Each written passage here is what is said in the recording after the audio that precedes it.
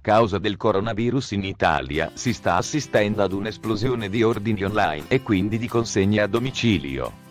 L'allarme lanciato dai corrieri.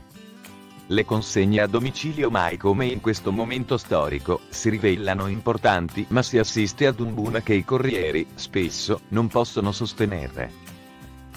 La richiesta dei corrieri le consegne a domicilio in questi giorni di emergenza da coronavirus hanno subito un'accelerata vorticosa. Complice il fatto di dover limitare i contatti con l'esterno, lo shopping online si rivela una buona soluzione ma non per i corrieri che, attraverso i loro sindacati, hanno lanciato un allarme.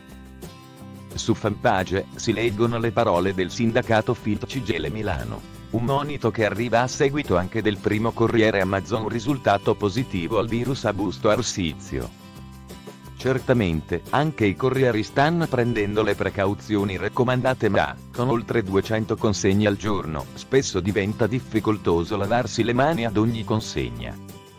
Comprare solo l'essenziale e i corrieri in queste ore devono fare un super lavoro perché gli ordini crescono.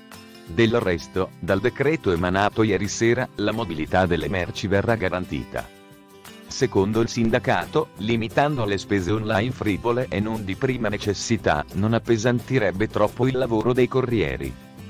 Molte aziende di driver e corrieri stanno adottando delle nuove misure che cercano di azzerare il contatto fisico.